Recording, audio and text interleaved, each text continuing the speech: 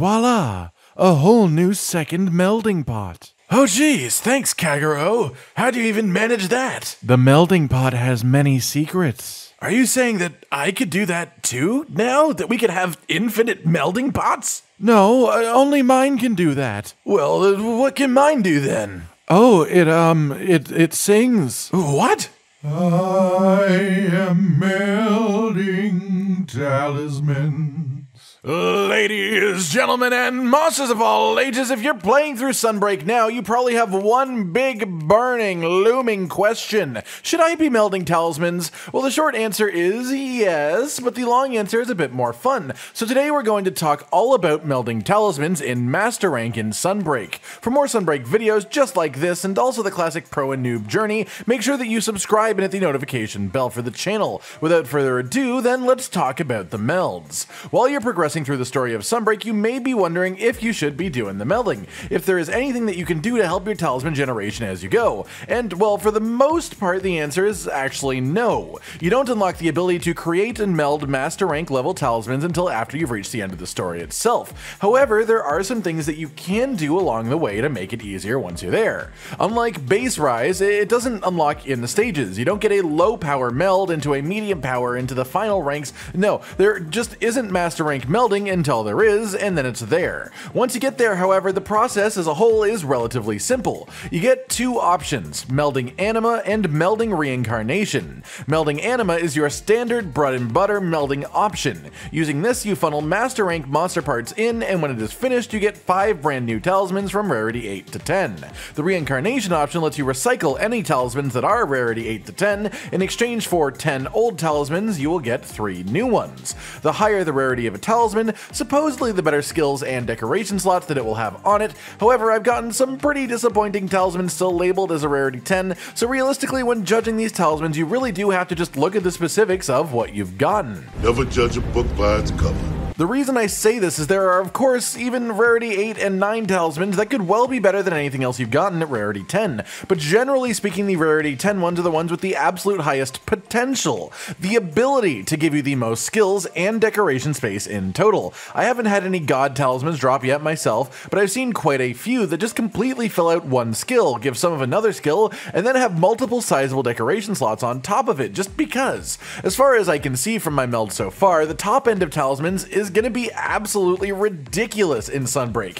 And if the chances of achieving it are anything like the best talismans in Base Rise, the vast majority of us will never actually see our dream talisman. But that doesn't mean that we can't get talismans that will completely redefine our playstyle. At the end of the day, a lot of the endgame weapons in Sunbreak are balanced quite tightly together, in a way that means the best build and even best weapon will always be a bit different for each individual person. Between all of the new niche damage skills, the balance of the weapons, and the fact that most people won't even be playing the game the exact same way as each other, the playstyles will differ, your talisman could be a defining part of your build at the end of the game. Without spoiling any of the parts that you can use to meld so you don't see the monsters you don't want to, the best way I can phrase it is the ease of melding has gone way up in Sunbreak. For a long time in Base Rise, I personally said that the talisman melding endgame felt like a way to let people just hunt whatever they wanted to and still get rewards at the end. But of course, people wanted to do it the most efficient way. They worked out the most efficient way, and then they just did that endlessly until they burned out. While in Sunbreak there absolutely will still be some sort of ultra efficient way to farm talismans, it is impossible to design a system like this without that. A lot of materials from relatively lower tier monsters are worth a lot of points in the melding system this time around. And while that doesn't quite fix the issue, it definitely does benefit the people who just want to hunt what they want to hunt. That said, there are also a couple of ways to augment your melding experience as a result of the Argosy Buddy system. Very early on in your journey through Sunbreak, you will be made aware of a system called Backroom Deals. This is long before you unlock the actual Master Rank melds. Through Backroom Deals, your Palico can procure extra items for you from the black market. When the system is first mentioned, it doesn't really give you too much detail, but the way that this works is when you go to set up your Argosy trades at the Buddy Center, you can press the button prompt on screen to give each buddy an introduction letter. Doing this makes them come back with a bunch of different bonus items highlighted in red every time you finish a quest. And two of these items that you can get are extremely important for melding. First and most simply is the melding pudding. This item by itself is worth 200 melding points, which is one fifth of an anima meld, and simply worth more than any other single material in the entire game. Five of these by themselves is a full meld, simple as that. The other unique item that you get from this is called the MP Accelerant, and this one sort of flips the whole system on its head.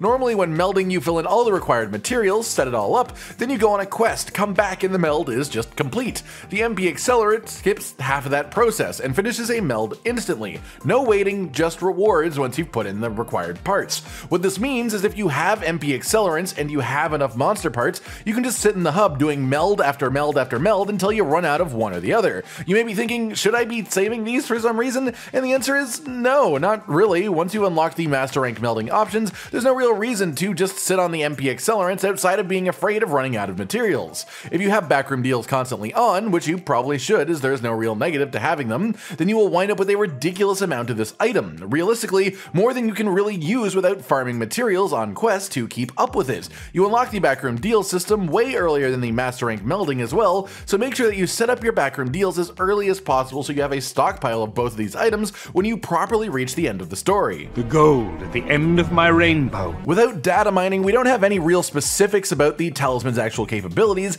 but I can tell you that they do get to have 4 slot decoration slots along with smaller decoration slots on these same talismans. There is a maximum of 2 different skills on the talisman, and depending on which skills they are, they can even be fully filled out for a ton of value. My personal favorite I have so far is 3 recovery up, 1 speed sharpening, a 3 slot, and a 1 slot. It doesn't have any offensive skills technically, but recovery up is, in my opinion, a very strong skill with the way the game works in Sunbreak. So a talisman with all of this is quite valuable. Another talisman I have that I think is quite strong in an interesting position is this one with two of the Grinder S skill. This skill is new and still needs some experimenting with particularly, but from my personal research, it is extremely strong. What it does is give you a bonus to your sharpness effects for a certain period of time after regaining a certain number of sharpness levels. At rank 2, which this talisman gives by itself, it gives you a boost for 60 seconds after regaining 2 tiers of sharpness. For example, from blue sharpness up to purple sharpness. There are some weapons in the endgame that can actually use this quite well, having a relatively small amount of purple and white sharpness, or even just going directly from purple sharpness right down to blue,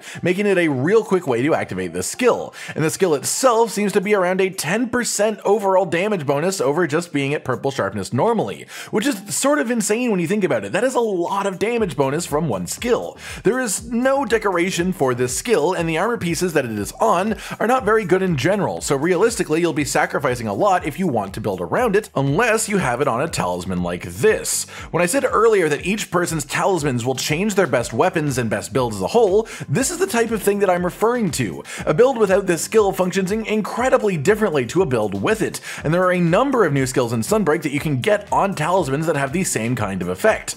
Generally speaking, when it comes to melding efficiently, you want to use the Anima meld system 10 times to create 50 talismans, and then use the Reincarnation meld 5 times to turn those 50 talismans into 15 talismans. The exception, of course, is when you get a talisman worth keeping from the Anima system, you don't want to spend that, and new to Sunbreak, you actually have the ability to lock a talisman that you want to keep. This keeps it from being able to be selected for Reincarnation melding and just makes the process significantly more convenient, as when you go into Reincarnation melding, you can now just select every single talisman down the list that you don't already have locked. The main reason that we want to use Reincarnation melding is, if it's anything like Base Rise, which we can assume that it will be, the pool of talismans you can get from the Reincarnation melds will be higher tier than the ones that you get from the Anima melds. And so realistically, the Anima melds exist to fuel your Reincarnation melds outside of a particularly lucky drop every once in a while. Circle of life.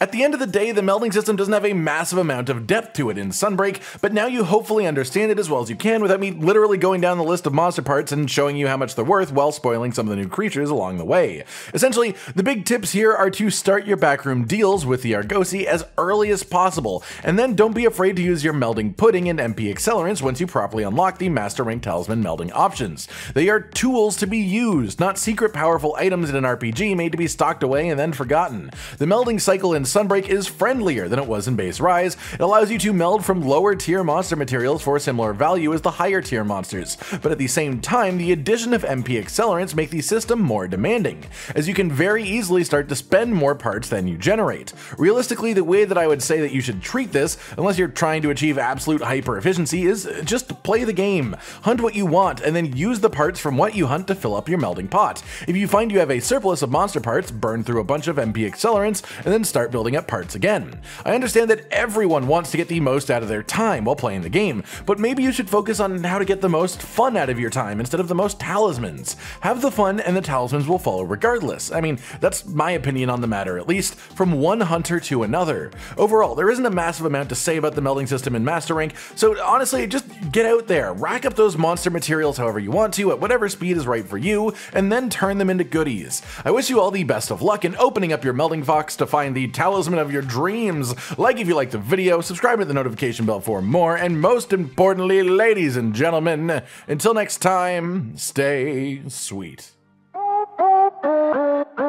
Josh, Cotton, and Hollow with the videos, dropping the humor like a hammer on your tippy toes, bringing entertainment on a daily arrangement to take our insanity and turn it into entertainment. Yes, I said entertainment twice to reiterate that it is nice to look into your faces on a mostly daily basis when you let us in your homes to make the whole world a stage. Is uh goodbye.